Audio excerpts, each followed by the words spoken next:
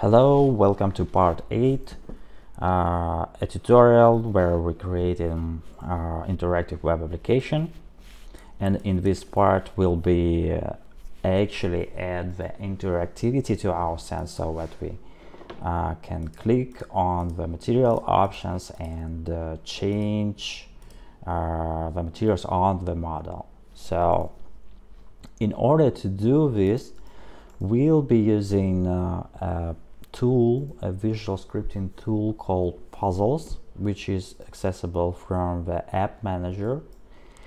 Just find our uh, application, which is called Nightstand, and run Puzzles. And when you run Puzzles first time, uh, it will probably looks uh, somehow different. This is because the size of this uh, editor uh, depends on the screen resolution you are using. So if for example you don't see this buttons because it's uh, too big for your screen resolution you can just click uh, your right mouse button and select reset editor dimensions so that it fits uh, to your screen resolution. Okay, so how do we change, how do we add the interactivity actually? So um, uh, in order to do this, we'll be adding uh, puzzles from the different categories and the first category which will interest us the most is called events so let's drag out the puzzles which called when clicked to our workspace. We can um, zoom it a bit uh, by using these buttons or reset zoom by and position and center the position by using this button. And um, uh, let's work with it. So we want uh, we'll be starting from the metals here. We want uh, that the user click by clicking on this sphere object uh, changes uh, the metal for the legs of our model. So let's implement this. We need uh, to know which uh, object the user clicks on. To do this, we go to selectors and uh, drag out the first puzzle called uh, with the camera on it, but actually it contains uh, a lot more objects which are found in our scene. And uh, we want uh, that by clicking on the, for example, sphere paint black so on this black sphere.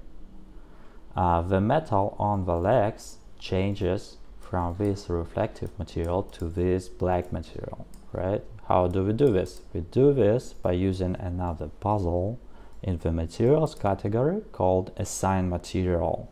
So we drag it out and insert it to the do slot and we want to assign materials. We need to specify what material we want to assign. And we do this by using another selector material selector drag it out insert it to this and select paint black. So once the sphere is clicked the paint black materials will be assigned to and we need another selector. So let's add it uh,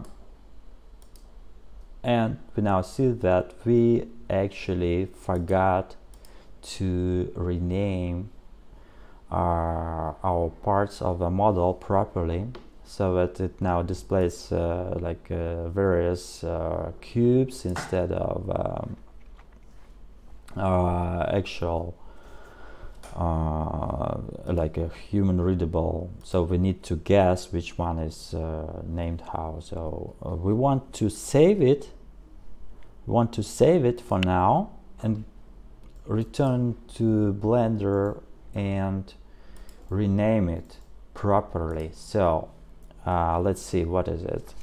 This is uh, body. Let's name it body. This is a drawer. Let's name it drawer. Drawer. This is legs. Yes let's name it legs. And the final object will be renamed legs. Tips. Okay we need to well re-export this scene in order for these uh, updated object names to show in our app. So let's export. We can also save our scene return to puzzles and click refresh. Right? Now we see that the object name which we selected before is colored red. It's because it is uh, not found now but instead we get body drawer legs and leg tips objects which we can use to assign our paint black material to but we'll be not using body of course because we need we need legs we need legs. Okay uh, let's save this is a, uh, always a good idea to save your puzzles save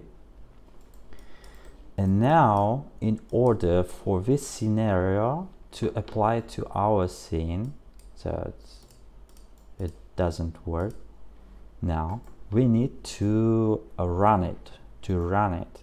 And we do this by clicking play here.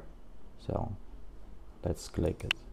Okay and now let's click on the black sphere and yeah material changed. It's now uh, replace it the, the, reflective material is replaced by uh, not so reflective uh, matte black material. And this is what we wanted. All right. So uh, let's implement uh, changing uh, of the material. So let's make it uh, this white sphere uh, to, to be interactive. So let's select this group of puzzles and right click duplicate. Or we can just use the shortcut control C select it control C control V and will it will duplicate it. So instead of black we want to select white now. We select white sphere and assign material white material to the object legs. All right so let's save it. Let, let's uh, convert it to to code which is run it in the browser.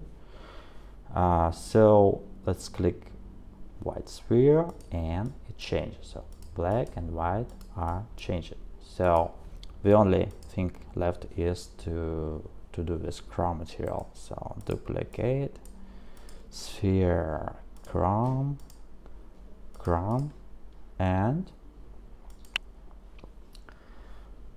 um, run it right it works. Perfect. Uh, so this is this is it for now. Um, thanks for watching and uh, see you later